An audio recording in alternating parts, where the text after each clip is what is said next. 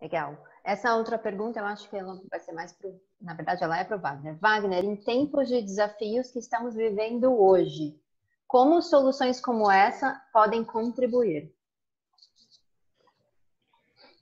Alô, parabéns, viu? Muito, Obrigado, Wagner. Muito bom ouvir uh, a sua apresentação. O nível de detalhe é fantástico. Tenho certeza que, que colabora muito aí a sua experiência com, com os outros nossos clientes que também estão aqui hoje nessa, nessa webinar. Uhum. Olha, Dê, essa pergunta é interessante pelo seguinte.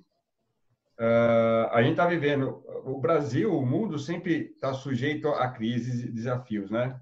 Eu acho que essa que a gente está vivendo agora ela com certeza tem, é, é, uma das maiores, é uma das maiores, não é a maior que a gente viveu aí nos últimos 30 anos aqui no Brasil e no mundo. Agora, algumas coisas acontecem nesses momentos, né?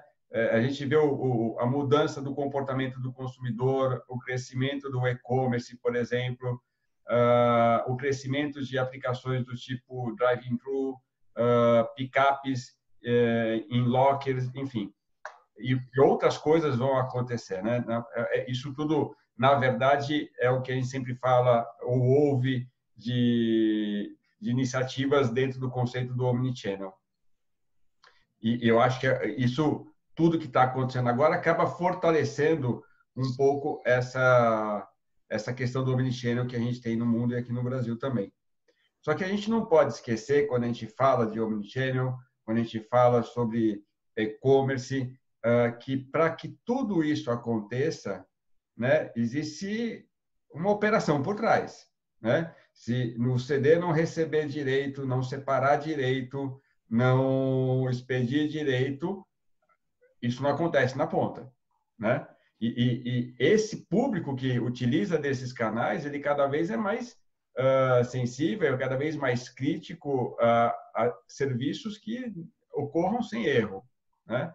Eu acho que todo mundo aqui, quando compra algo pela internet que chega errado ou não chega e é avisado de última hora, tem uma frustração enorme e, e acaba se desapontando com quem estava tentando prestar aquele serviço.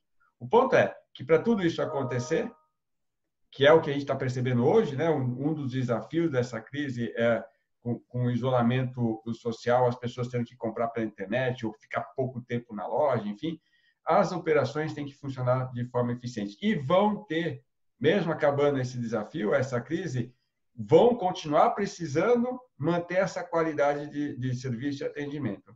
E não adianta, né? Existe um mundo real por trás de tudo isso, que é o que o Paulo estava falando. Alguém tem que separar, receber corretamente, na velocidade certa, mandar para o lugar certo, uh, sem atrito nenhum, tanto para quem está comprando, como para quem está uh, operando toda essa, essa dinâmica. Então, eu acho que soluções como essa, que já contribuem hoje para essa efetividade dos processos, elas passam a ter uma importância tão grande ou maior no futuro. Né? Quando tiver essa transformação, quando tiver essa fixação do conceito do omnichannel, uh, ou essa, esse crescimento uh, potencial do e-commerce, por exemplo. Tá?